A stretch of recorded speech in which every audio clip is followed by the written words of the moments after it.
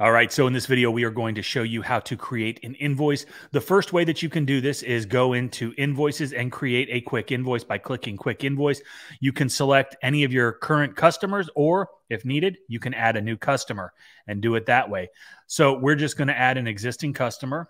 We're going to do Abby Test because that is a fake account. Basically, you're going to fill in all of the information that's pertinent to this invoice. The date is pre populated, your invoice number is pre populated. You can include terms if that is something that you're going to do.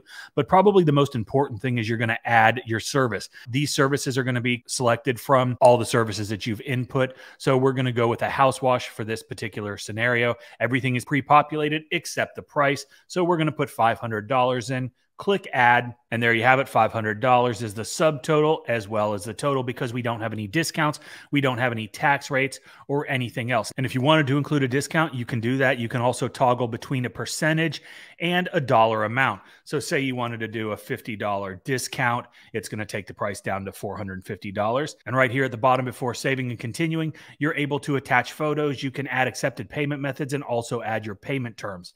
And then we're going to click save and continue which brings up the invoice, which you can then copy the link, send it in a text message, send it in an email, and uh, that is how you create an invoice. The other way is if you have already created an estimate and the work has been completed, you can come into your estimate screen and simply click invoice. And that is going to generate the invoice. It's going to email it, or if you're on your phone, you can text it to your customer.